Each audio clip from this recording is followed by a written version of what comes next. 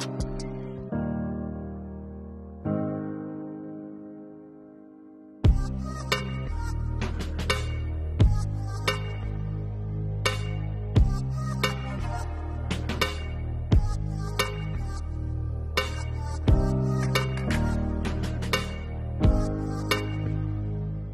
¿Qué tal? Bienvenidos a Precise Barbershop Costa Rica. Yo soy Henry Precise. Gracias por acompañarnos hoy con otro video más. Y hoy les tenemos la revisión final de la Wall Retro T-Cut, el Performance Review, esta máquina de contornos que he estado usando durante unas semanas ya. Y pues ya tengo todos los datos que usted necesita saber y también mis honestas opiniones. No vamos a mentir acá, vamos a hablar las cosas como son. Así que vamos con el performance review de la Wall Retro T-Cut, pero antes vamos con algunas tomas viendo la Retro T-Cut operando, ver cómo funciona.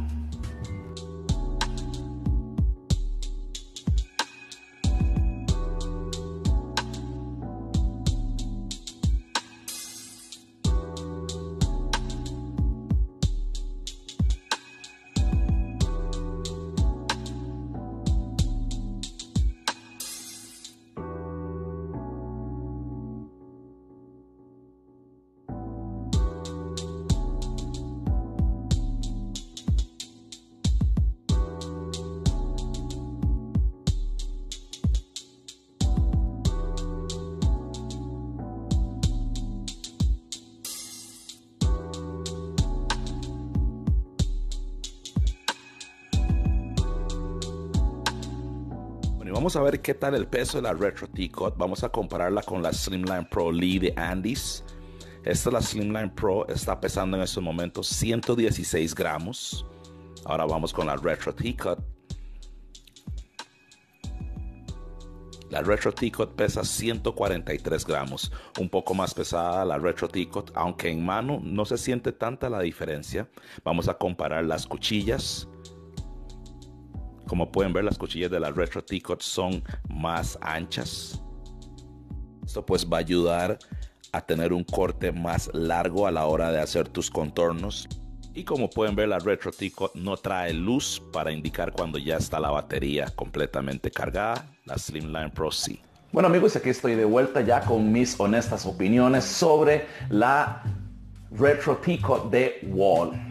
Vamos primero con las contras directamente, que las contras en realidad solo hay dos. Uno, que no tiene luz de indicación de cuando está cargada la batería o no, como la Slimline Pro Lee de Andis.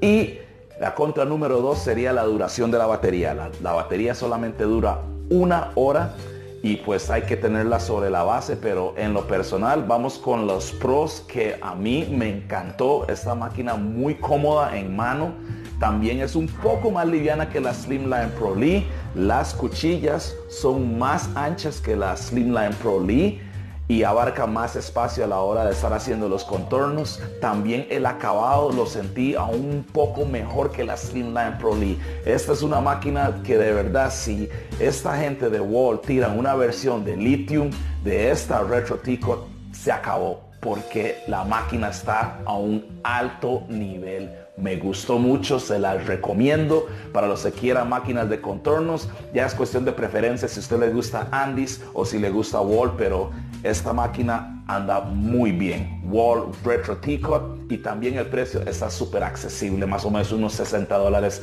americanos para los que la quieran conseguir. Así que otra review más. Gracias por acompañarnos. No se les olviden darle al botón de suscripción, también a la campana de notificación para que no se pierdan detalles de los videos semanales que estamos subiendo acá en Precise Barbershop Costa Rica. Un servidor Henry Precise se despide. Muchas gracias por acompañarnos. Nos vemos hasta la próxima.